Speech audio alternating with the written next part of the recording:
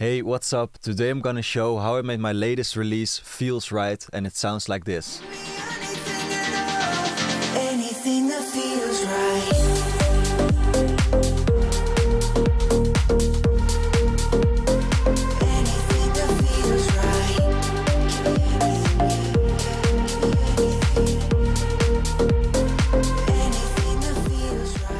So this is the project right here and it's actually probably one of my smallest and most organized projects that I ever had.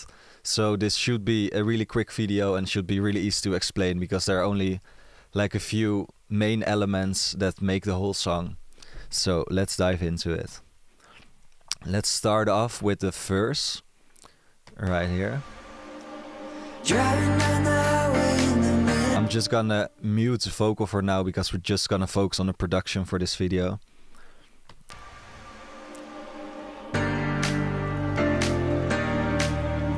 So in the first there, to start off, there are only a few elements. There is this main piano from Keyscape, which is just a basic piano.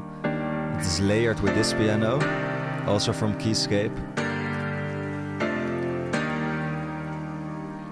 It's the burning piano, and that gives a really nice texture to the to the other piano because the other piano sounds pretty plain and pretty boring, and this gives it like an extra texture to make it more interesting. Next is this bass, which I made in Serum. It's just a really easy and simple saw bass, just two saws with a uh, filter on it, which sounds like this.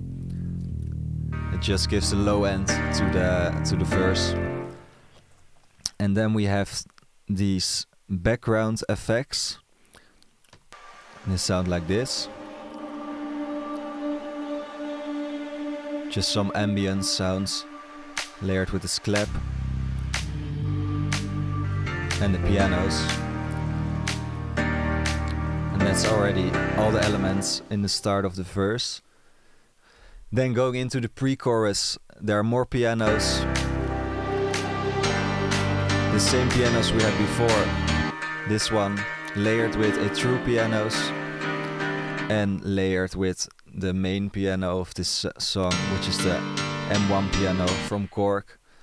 And also this choir comes in at the pre. It sounds like this.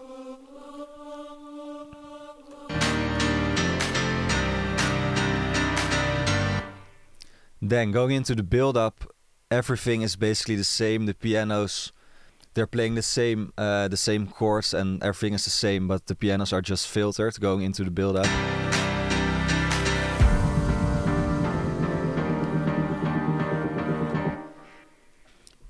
So yeah, the verse and the pre are really simple. There's just pianos with some background effects. And now let's go to the drop, which is probably the most interesting part for this song. Um, let's start off with the drums for this. The drums sound like this soloed. And the layers are this kick drum layered with this clap, another clap, a hi-hat, a 909 drum kit, uh, more percussion right here. And the stop loop. And those are already all the drums for the drop. Then let's go to the basses. I have uh, five basses, five layers. Uh, this is the first layer, which is a white bass to like fill up the stereo spectrum. Then we have this FM bass, which is more like a mid bass. The sub bass and a high layer for the bass, and then the main sound, which is the Korg M1 house bass. And all together they sound like this with the drums.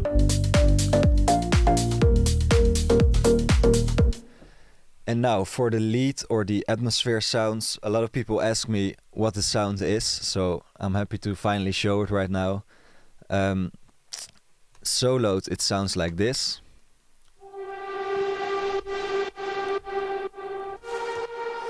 And without all the effects on it, They sound really different. They sound like this.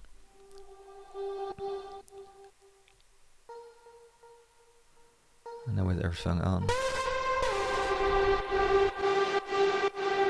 So as you can see, the main uh, plugin that makes this sound is the decapitator. Because if I just mute decapitator, it sounds like this. And then with it turned on. And what I did with this sound is I just took this tail and I did put that in a sampler, just a regular Logic sampler, so you can play around with it.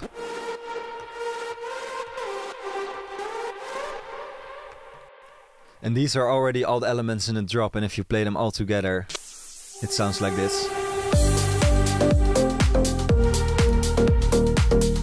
With the vocal over it.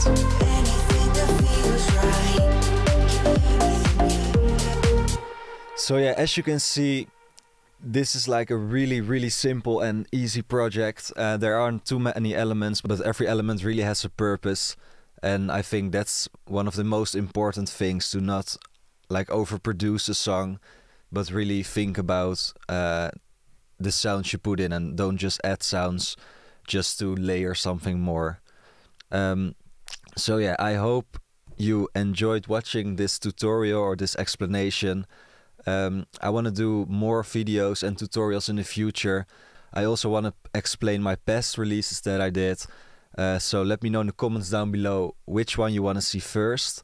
Uh, and if you have any specific questions about previous releases, also ask them down below. And I'll try to answer them right now or in future videos uh, when I make a uh, tutorial about this song. Um, so yeah, again, I hope you enjoyed. I hope you learned something. Uh, make sure to subscribe to my channel and thank you for watching. Bye.